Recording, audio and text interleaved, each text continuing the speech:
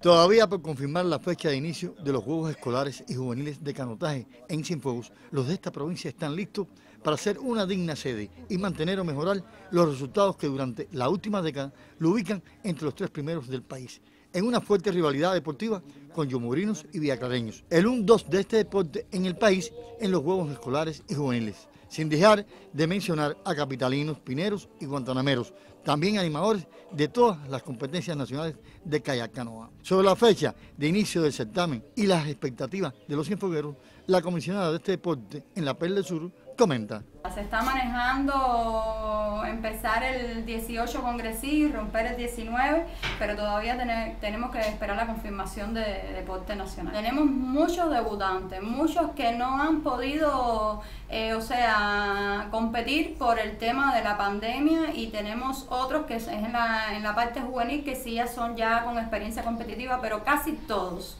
de la categoría escolar van a debutar por primera vez en los Juegos Escolares. Mantener los resultados o mejorarlos. Se ha trabajado para mejorarlo. Vamos a esperar que los atletas den el extra.